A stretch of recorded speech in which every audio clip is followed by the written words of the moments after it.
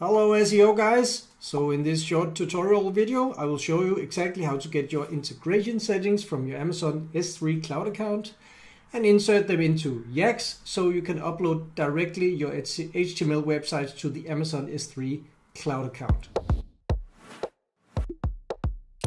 Alright, so we are now logged into our Amazon S3 account and this is what it looks like and I will now click in the upper right corner on my name here I will now click on security credentials. And now I will click on access keys. And I will click on the button create new access key. And uh, I will download key file. And I will now go over to YACSS where I am logged in. I will then click on my clients and now we'll click on add clients. I will click on my name is Jesper Nissen. My business name is Jesper. It's also Jesper Nissen. Let me say jespernissen.com. I will click save. Now I will click this little button here.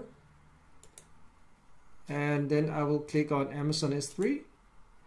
And I will click on add new and I'll click on uh, name. I'll just call it Jesper Nissen. Uh, region is default US East 1 but you can select all the regions that you want and this region will be the default bucket a region that your buckets will be created in. So uh, just leave it to US East 1 now you will have to enter your secret key. Uh, I'll just uh, you know I'll just pause the video and then I'll enter these two keys and then I'll click connect. I'll just pause it two seconds. All right, I'm uh, back again. I changed my mind. I'll simply show you how to do it, exactly how to do it. And I'll just delete my uh, keys afterwards. Uh, so yes, Jesper Nissen, US East 1. I'll go to Amazon. I'll just click close here. Oh, okay, I downloaded downloaded the keys here.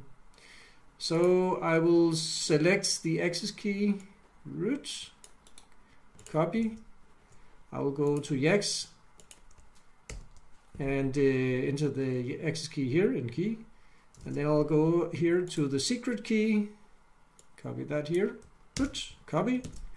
And then I will enter that in the field secret key and I will click connect and now it is connected.